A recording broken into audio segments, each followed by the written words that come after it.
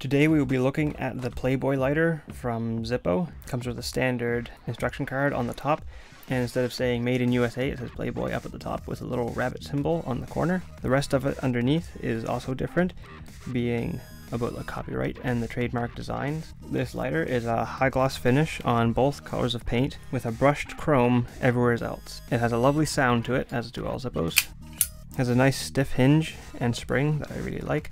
I have yet to use this lighter so I cannot comment on how well it lights but the flint certainly does its job.